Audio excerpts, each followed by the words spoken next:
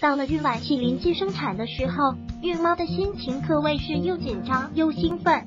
开心的是终于可以和宝宝见面了，但紧张的是并不知道分娩的前兆是什么。其实到了分娩的时候，一般只会出现见红和破水这两种情况。既然是两种，肯定会分个前后，肯定不不会一起来的。那么到底是哪个在前比较好呢？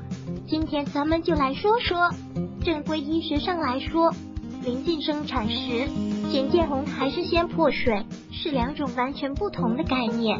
要是顺序不一样，还会对孕妈和宝宝有不同程度的影响。要是在分娩前二到三天左右，阴道处有少量的血性粘液流出，就是见红，并且根据体质不同，见红的时间长短也不一样。接着，慢慢腹部就会传来疼痛感。最后才会破水生宝宝，这就是正确的顺序，宝宝也不会受到任何的影响。